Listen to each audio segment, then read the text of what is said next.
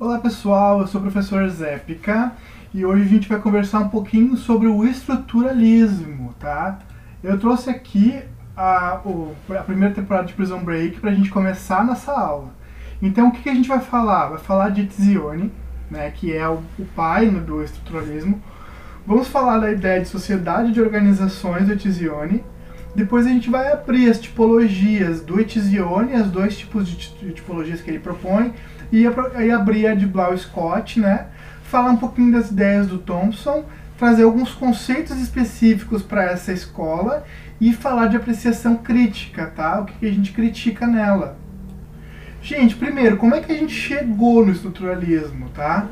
O estruturalismo ele chega na década de 50, 60, que é um mundo de pós-segunda guerra mundial e de guerra fria. Lembra que eu já comentei isso em algumas aulas anteriores? Tem um novo contingente de pessoas que chega nas organizações e a gente precisa desburocratizar, precisa desengessar a organização. Então o estruturalismo ele vem com essa proposta de olhar para outros tipos de organização, propor novos formatos organizacionais, não só para a questão produtiva, mas também para outros tipos de organizações, certo? Então a década de 50, uma década fashion, né? O, o, o estruturalismo vem bem nesse formato, tá, gente? Aqui está o Etizione, eu trouxe uma foto dele de agora, porque o Etizione ainda está vivo, né? Um dos poucos teóricos da administração, assim, que ainda estão vivos. Ele nasceu em 1929 e ele vai completar 92 anos agora em 2021. Mas o Amitai Werner Etizione, ele nasceu como Amitai Werner Folk. Por quê? porque ele nasceu na Alemanha, né, na colônia, numa colônia alemã, mas ele veio, ele é oriundo de judeus alemães, ele, os pais deles er, dele eram judeus alemães. E aí quando o Hitler toma a Alemanha, né, e faz aquela perseguição aos judeus, o Oetzione, ele é um desses refugiados, que ele vai, ele sai da Alemanha, ali eu coloquei um, um barco de refugiados, né, uh, ale, ale, judeus alemães, e ele vai para Palestina. E aí ele tira o nome Folk e coloca o nome Tizione. Então ele vai ficar conhecido como Tizione, tá? Ele foi mestre na Hebrew University e foi doutor em sociologia pela Universidade de Columbia. O Etizione vai propor uma atualização do conceito de homo, homo econômicos, né, daquelas abordagens mais clássicas, depois de homo socialis, que é aquela abordagem de escola das relações humanas, para um conceito de homo organizacionales, tá? Que é esse homem organizacional. Não é mais só um ser social, não é só um ser uh, motivado por grana, né, por salário, e também é um ser que está dentro de uma estrutura, tá? Isso casa muito com a ideia dele, que é a ideia de sociedade de organizações. Essa ideia de sociedade de organizações o Tizione vai trazer dizendo que a nossa vida ela é formada de organizações. Então, a nossa vida começa na organização família, nosso pai e nossa mãe nos, nos têm, depois nós viemos para essa organização, nosso pai e nossa mãe vão nos gerir até que a gente tenha alguma idade. No meio desse caminho nós precisamos de hospitais, para nos atender, para ver a nossa saúde. Nós vamos precisar de médicos, nós vamos precisar nos alimentar através da indústria, nós vamos precisar cortar o nosso cabelo através de cabeleireiro, nós vamos precisar comprar roupas através da indústria têxtil, nós vamos precisar de serviços que nos prestem, nós vamos precisar de serviços de transporte, nós vamos precisar trabalhar. Então, assim, nós vamos ser compostos por, por organizações a vida inteira. Nós não temos como fugir dessas organizações. E as organizações que nascem com esse sentido de gerir o capital, elas acabam sendo tão grandes e, são, e, e tão escaladas que acaba sendo dividido em três coisas, né, que o Etienne vai propor, que são as organizações primárias, as organizações maiores, assim, que é, por exemplo, uma organização automobilística que faz os carros e tal, uma organização secundária que nasce já para dar apoio a, a, a, uma organização primária, por exemplo, uma organização automobilística, que quem faz os carros, vai ter ali uma organização secundária de limpeza. A equipe terceirizada de limpeza é uma organização secundária dando apoio a essa primeira organização. E o tempo todo vão estar surgindo novas organizações que vão enxergar lacunas de mercado e vão estar se colocando para atender. Então, por exemplo, vai ter ali uma organização que vai perceber que esse setor automobilístico ele não consegue fazer uma gestão de fluxo de caixa, por exemplo, e aí vai propor um software, alguma coisa assim, que essa equipe de TI vai vir como essa proposta startup atender a organização primária e secundária. Então, essas as organizações elas vão estar sempre surgindo, as primárias, as secundárias e as novas, certo? Por quê? Porque o mundo é globalizado já, o mundo está aberto, né? O comércio acontece mundialmente. Então, uh, muitas vezes um produto que é vendido por um país, ele é produzido no outro, com uma peça que vem de outro, uma, uma grande organização primária, às vezes ela não tem produção nenhuma dentro dela, ela tem produções secundárias e produções de novas organizações que vão, uma faz a peça, a outra monta uma peça com outra coisa, a outra vai lá e faz o design, a outra vai lá e vende. Então é tudo globalizado, é tudo integrado, certo? Outra coisa, ele vai dizer que as organizações elas conseguem se controlar a natureza e o destino delas. Elas conseguem definir quem elas são, o que elas querem fazer e conseguem definir para onde elas querem ir através de propor um objetivo. O objetivo seria essa imagem da organização quem eu quero ser no futuro, o que, que eu quero ser no futuro, onde é que eu quero chegar, o que, que eu desejo, qual é a minha meta, né? E esse objetivo da organização vai direcionar a organização. Então ela consegue se controlar e ela consegue definir o seu destino. E o Etizione, ele vai ter certa influência marxista, tá? E pós-modernista, então ele vai ser meio assim, contingencial de alguma forma. E ele vai dizer que todas as coisas são provisórias, diante de um modelo que vai vir depois. Me explica, professor. A ideia é a seguinte: nada é, nada é o fim em si mesmo. As organizações elas estão mudando o tempo todo, elas estão buscando novos, ser uma coisa nova, ser um outro tipo de organização, atender um outro tipo de mercado, atender um outro país, se colocar de uma outra forma. Então, a organização existe para definir um objetivo. E quando ela atinge esse objetivo, ela precisa propor outro. E aí ela incorpora aquela, aquele resultado de objetivo e passa a ser alguma outra coisa, passa a buscar uma outra coisa. Então, todas as coisas são provisórias diante de um modelo que está por vir. Meio filosófico o Etizione aqui, né, gente? Mas avançando, gente, o Etizione ele vai dizer que as organizações elas passam por um processo de desenvolvimento baseado em três formas, tá? A, desculpa. Baseado em quatro formas: a natureza, o trabalho, o capital e as organizações. Então, a natureza seria quando o homem era nômade. Eu trouxe aqui o Chaves e o Kiko brincando em Acapulco na natureza, né? Mas assim, o, o, homem era nômade, então ele morava na terra, ele tinha o teto por céu, ele consumia o que a natureza oferecia. É uma coisa meio filosófica, mas o homem ele não está organizado, ele só consome o que tem ali, ele vai ali, mata o animal e come, ou ele vai ali, pega da natureza a plantação, a plantação não, né? O que a natureza deixa crescer e ele come. Então esse nome, homem nômade. E quando o homem nômade ele percebe que não tem mais animais a matar ou, ou uh, vegetais a comer assim que nascem da terra, aí ele, ele vai para um outro lugar. Por isso que ele é nômade, né? O segundo estágio das organizações seria o estágio do trabalho, como ser uma droga, não. Não existe trabalho ruim, o ruim tem que trabalhar. Mas a ideia aqui é que o homem, então, ele percebe que ele não pode ficar tipo, consumindo aquela natureza e indo para outro lugar. Ele precisa se fixar. Como é que ele se fixa? Ele se fixa trabalhando. Ele percebe que não, não posso só comer os animais assim. Eu preciso então criar animais, preciso estimular a criação de animais e tal. Ou eu preciso plantar se eu plantar, cresce. E eu fico no mesmo lugar. Eu planto, eu como, e cresce, eu planto de novo. Então ele começa a transformar os recursos naturais através do seu trabalho, que seria esse segundo estágio das organizações, o estágio trabalho. O terceiro estágio é uh, pagar o aluguel, né? É ganhar dinheiro com o seu trabalho. E por que isso? Porque se percebe que se eu uh, criar animais, ou eu plantar e comer, acaba sobrando alguma coisa do que eu plantei. Eu como e sobra, e eu troco, e eu vendo. Ou eu crio gado, consumo aquele gado, mas eu também consigo ter excedentes de gado, e eu, eu troco, eu vendo. Então essa venda, esse dinheiro que vem do excedente, ele vira capital quando ele começa a se rentabilizar.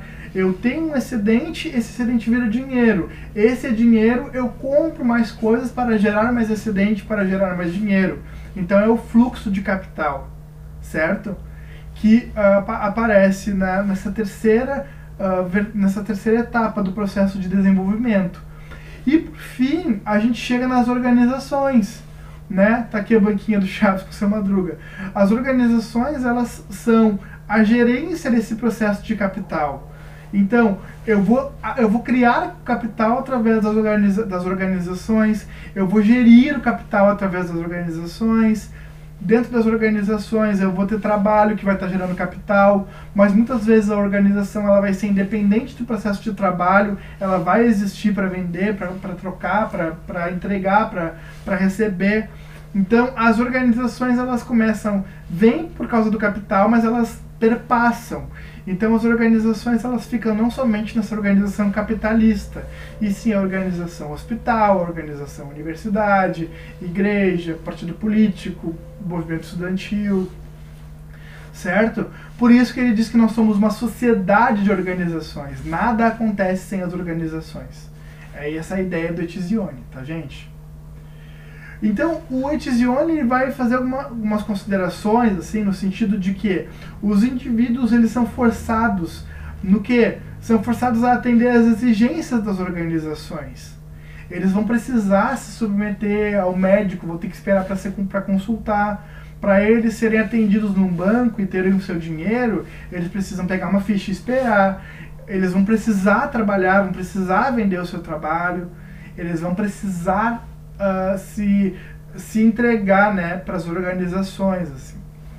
E isso vai gerar nos, nos indivíduos um conformismo, no sentido de faz parte, eu preciso ir no banco, eu preciso trabalhar, eu preciso estudar, sabe? É, ele se conforma.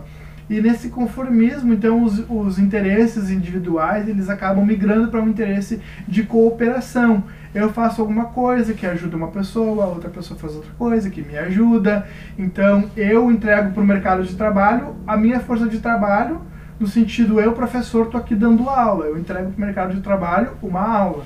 E você aí que é aluno está consumindo a minha aula. Então, tu está conformado em ter que assistir a minha aula para poder chegar no teu diploma no final do curso, certo? Outra coisa que vem aqui do Etizione é uma ideia de organização enquanto sistema aberto, social. É a organização que ela perpassa outras coisas fora da organização. Isso fica mais claro depois quando a gente fala do Bertalanff, quando falar de sistema aberto, sistema fechado. Mas o sistema aberto é isso, ele, as influências externas elas acontecem e a organização precisa aprender a lidar com isso. E uma outra coisa que aparece aqui no, no Etizione é que os conflitos eles são desejáveis. Olha de novo a Mary Foley, né, que ela propôs isso e, e não tomaram a ideia dela e já foi retomada por quantas pessoas, né? Mas o Etizione vai dizer que os conflitos são desejáveis porque as frustrações, as desinteligências no ambiente de trabalho, elas levam a adaptações, a novos formatos de trabalho e esses novos formatos de trabalho levam a novas organizações. Então as organizações se retroalimentam, tá, gente? Gente, existem tipologias de organizações, né? Existe aí os chaves e os chapulins das organizações. E aí eu vou trazer para vocês três conceitos de tipologias, tá? Vamos lá. Dois desses conceitos são propostos pelo próprio Tizione. Tá? O primeiro é olhar as organizações através de uma ótica de pertencimento. Daí eu trouxe aqui o Michael e o Sucre no Prison Break, né? Porque eles estão presos. Por que isso, professor? Porque é o primeiro tipo de organização que o Etizione vai propor. As pessoas elas pertencem às organizações porque elas são coagidas a isso. Então, uh, são coagidas como? Através da força física. Ou tu permanece ou tu apanha e permanece igual. Se tu te rebelar, tu apanha, tu vai ter que ficar preso, né? E aí um grande exemplo disso seriam as penitenciárias mesmo, as prisões. Então, pertencer de forma coercitiva, tá? Que é pertencer preso. O segundo tipo é a questão utilitária, é pertencer a uma organização pela sua utilidade que eu tenho enquanto vantagem percebida. Eu recebo meu salário, então eu permaneço a uma empresa porque eu tenho esse incentivo econômico. Os exemplos seriam as empresas em geral, as empresas que a gente trabalha, as organizações que nos pagam, certo? E as organizações normativas, que são organizações por ideologia, por fé, por consenso. Eu permaneço porque eu acredito na norma daquela organização. Eu permaneço porque o que aquela organização faz eu acredito. Então, exemplo, professor, igreja, universidade, partido político, hospital, movimentos democráticos, movimentos revolucionários, movimentos estudantis, tá bom? Então, olhar as organizações por uma ótica de pertencimento. Por que, que as pessoas pertencem às organizações? Depois a gente tem também no Etisione olhar as organizações de uma forma do seu conhecimento. Como é que ela lida com o conhecimento, que seria o segundo tipo, tá? Então, ela lida com conhecimento, primeiro, as organizações especializadas em conhecimento. O conhecimento nessas organizações é justamente a pesquisa, é justamente conhecimento aplicado em si mesmo, conhecimento como um fim único. Ah, professor, está confuso. A universidade, a universidade mesmo. Tu tá na, na universidade porque está criando conhecimento, está gerando pesquisa, a estrutura da, da universidade é pesquisa, né? O hospital também, que pesquisa novas doenças, novas curas, novos remédios. Então, especialidade, o conhecimento não é especializado. Outra, o conhecimento não especializado que é o que? É pegar o conhecimento da universidade, o conhecimento da pesquisa e aplicar para alguma coisa. No caso, aplicar para gerar algum lucro, aplicar para gerar algum produto, aplicar para gerar, entende? Um exemplo seriam as empresas que pegam os conhecimentos que a própria teoria da administração gera e utiliza ferramentas para fazer gestão, para fazer a sua organização de processos, de, de ambiente de trabalho. Então ela não pesquisa, ela não produz, mas ela consome esse conhecimento gerado. Claro que existem organizações que fazem pesquisa e desenvolvimento, aí elas são organizações especializadas, certo? Depois a gente tem as organizações de serviço, que são organizações que trabalham com o conhecimento para servir as organizações não especializadas. Professor, me dá um exemplo?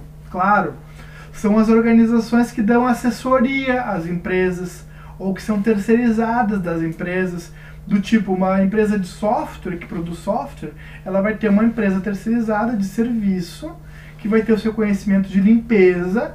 Então essa terceirizada de limpeza limpa o ambiente onde o pessoal que programa trabalha, certo?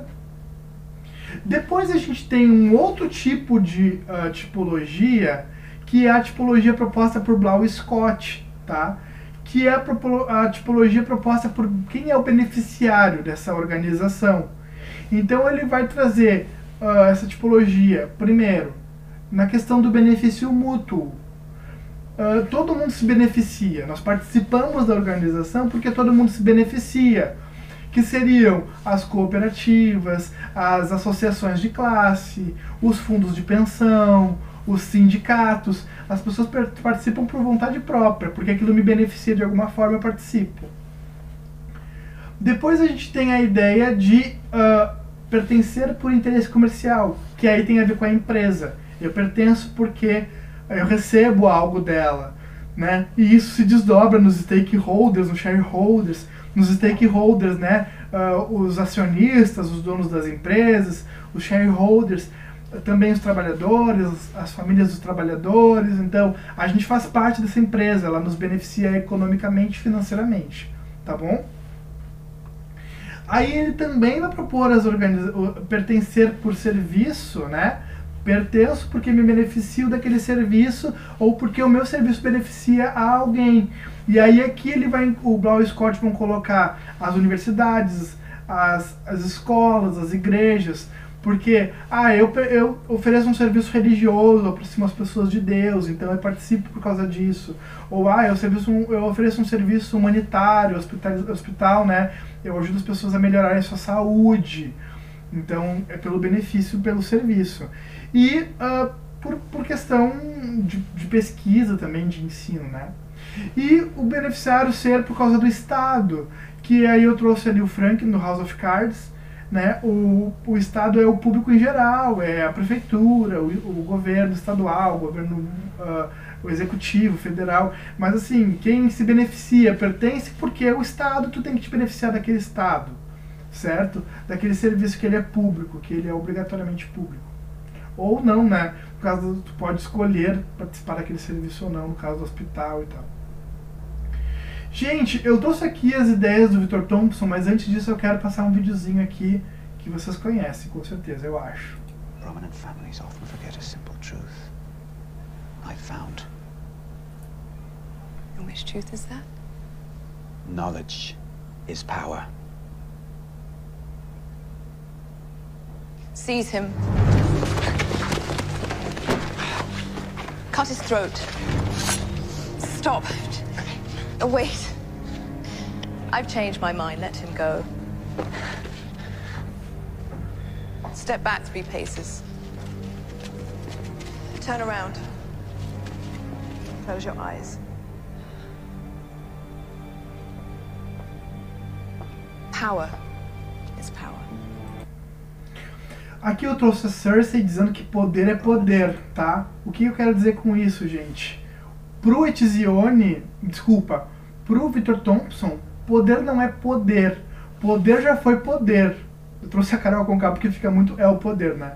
Mas assim, o poder. Uh, ele era poder antes, nas monarquias, nos impérios, em lugares onde o poder é institucionalizado por uma questão tradicional, né? Na própria questão da monarquia é muito nítido.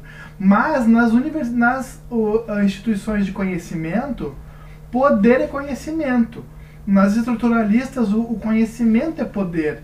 Saber com quem falar, saber o que fazer é poder, tá?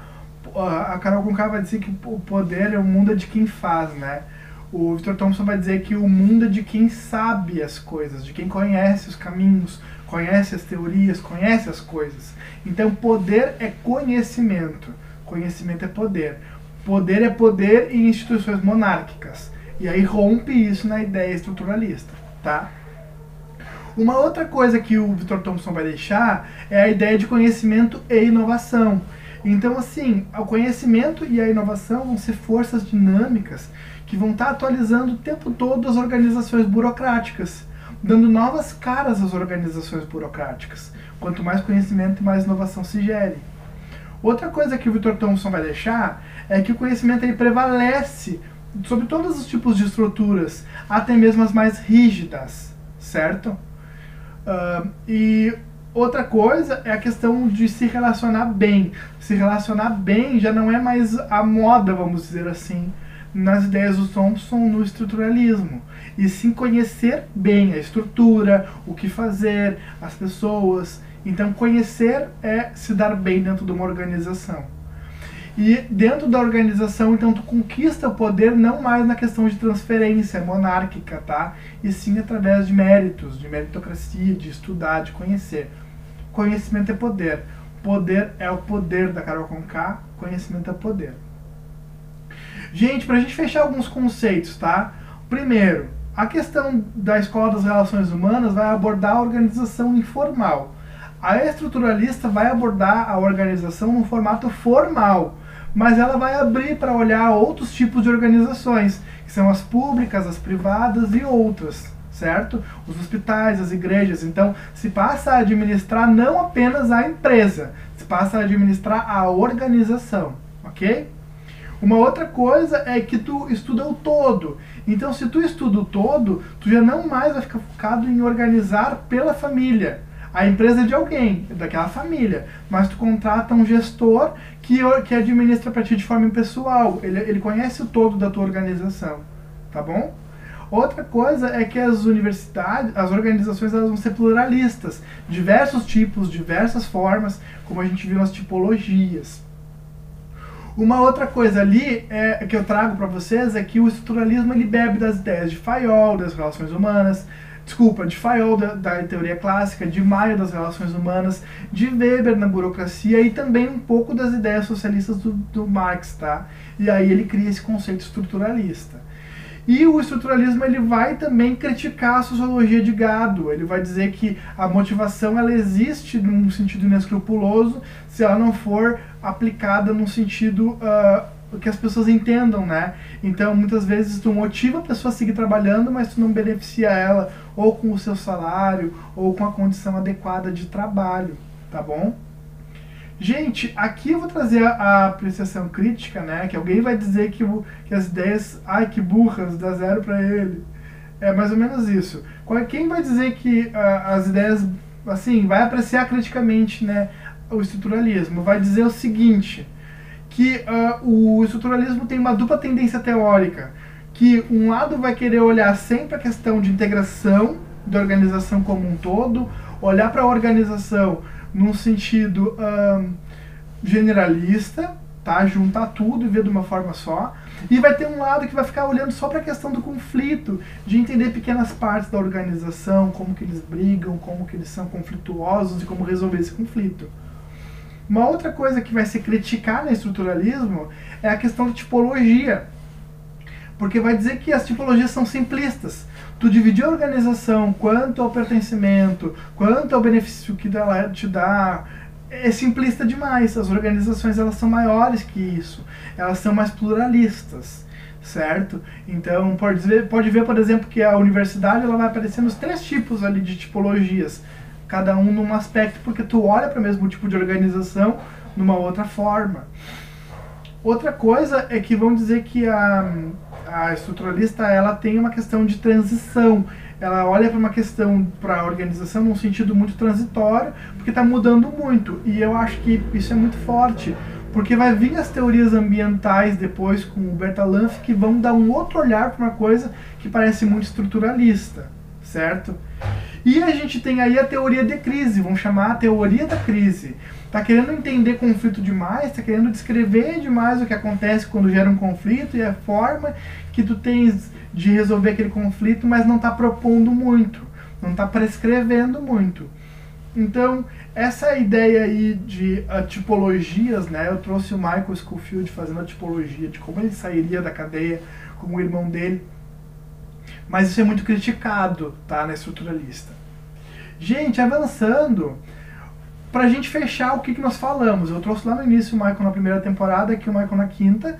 Então a gente falou do Tizione, de quem ele é e o que, que ele propôs, que ele propôs a ideia de sociedades de organizações. Aí eu trouxe as duas tipologias do Tizione e a tipologia do Blau Scott. Falamos do Victor Thompson com a ideia de poder não ser mais poder, poder ser conhecimento, certo? Trabalhamos um pouco as ideias dos conhecimentos específicos aqui dentro e fizemos apreciação crítica. E a perguntinha para a gente interagir aqui é: de onde vem o poder então nas organizações contemporâneas? Vai ter gente que vai dizer que poder é poder, vai ter gente que vai dizer que poder é conhecimento. O que, que é poder? De onde vem esse poder? Poder vem institucionalizado, vem herdado, vem adquirido, vem recebido? Como é que vem? De onde ele vem? Quero ouvir vocês nos comentários do vídeo aqui, tá? A Carol Conká também, que ela tá cantando É o Poder e perguntando de onde vem esse poder.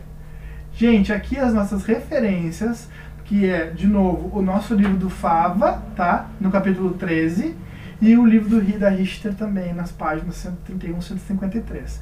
Vou deixar para download, tá? E Aqui fica então o meu obrigado com o origami do Michael. Fica um obrigado para quem assistiu a nossa aula, tá bom? Não esqueçam de responder as perguntas e também de olhar a entrevista que a gente gravou, que eu gravei com a Tainara Domingues do 9RS. Valeu, gente. Abraço!